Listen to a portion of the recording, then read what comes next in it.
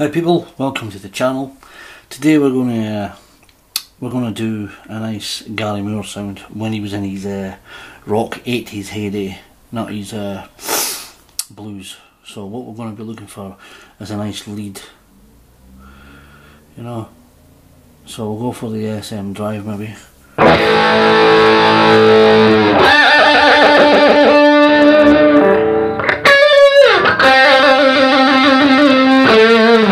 Okay, that, that could be uh, quite cool. We'll put a bit of presence into that.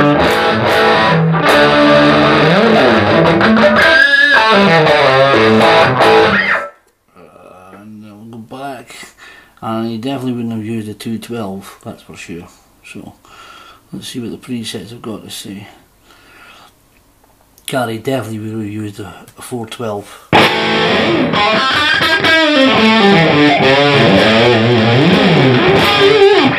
Okay, that sounds uh, uh,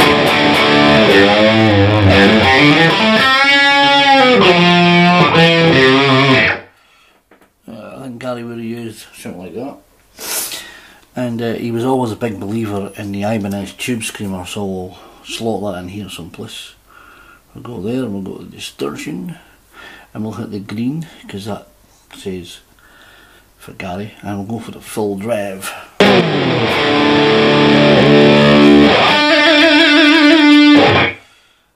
Yeah, that's uh, about right, I would say. A bit more tone, maybe.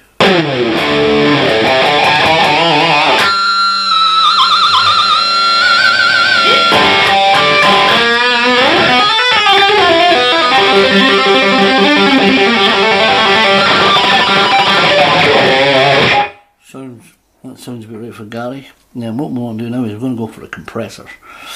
So we'll go down here. We'll go to this and we'll go for the grey. And we'll go for a full attack.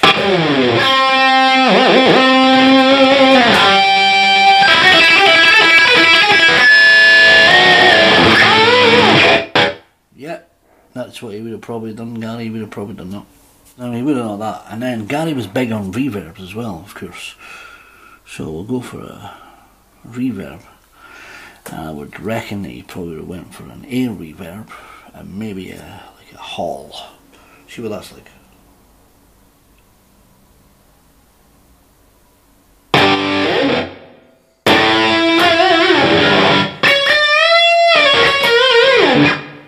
Yep. Then and he would have went for definitely. He definitely would have went for a delay because he was monsters with delays, and he definitely, I would say, he would have went for a long analoid